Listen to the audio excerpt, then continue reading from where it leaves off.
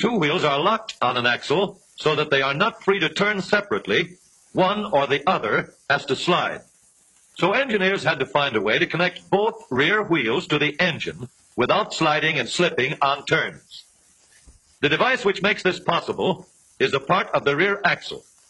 It is called the differential because it can drive the rear wheels at different speeds. The differential looks complicated, but once we understand its principle, it is amazingly simple. These two wheels are mounted on separate axles and supported by a frame so that they can revolve freely at different speeds. Let's fasten a spoke on the inner end of each axle so that by turning the spokes, we can turn each wheel separately. With a bar or crosspiece, we can turn both wheels in the same direction at the same rate of speed. Let's get something to hold this bar in place so that it will press against the spokes. Notice that this support is not locked to the axle. It turns freely. Now, we can spin the wheels by rotating the support. This is fine, as long as both wheels are able to turn at the same speed. But, let's see what happens when we go around the corner. With this arrangement, we cannot drive one wheel faster than the other. And if we stop one wheel, the other wheel won't budge. Let's put this bar on a pivot so that it can swing in either direction.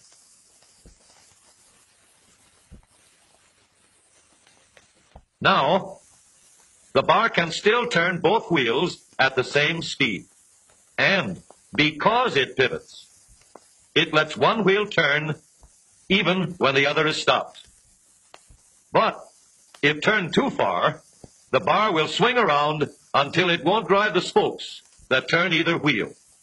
We need another crossbar and more spokes to carry on the job. When we stop one wheel, the crossbars will continue to push the spokes of the free wheel around. As long as both wheels are free to turn, the bars do not swing on their pivot, and the wheels move at the same speed. Now we have the working principles of a differential. To adapt the model for use in an automobile, we will have to make a few changes.